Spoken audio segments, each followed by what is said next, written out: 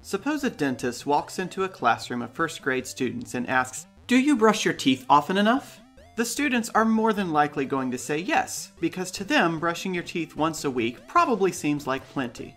Now, suppose the dentist shows these students the ugly truth about gum disease, plaque, and cavities to scare them into brushing their teeth more often.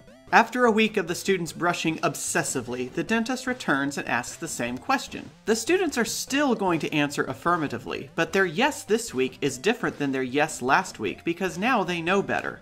The key to seeing growth is to ask, Did you brush your teeth often enough a week ago? which will reveal positive gains. This discrepancy is called response shift bias, and it's happening in our physics assessments as well.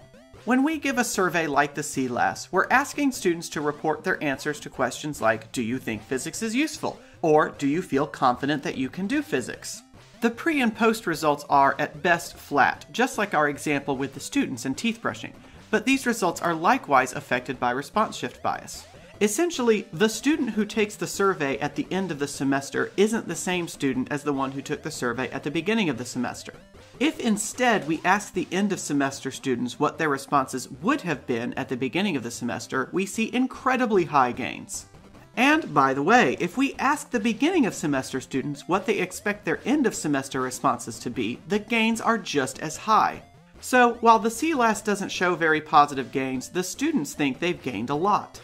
Now, this does not mean that we should throw out the sea CLASS, far from it, but don't let its usually negative results set your teeth on edge.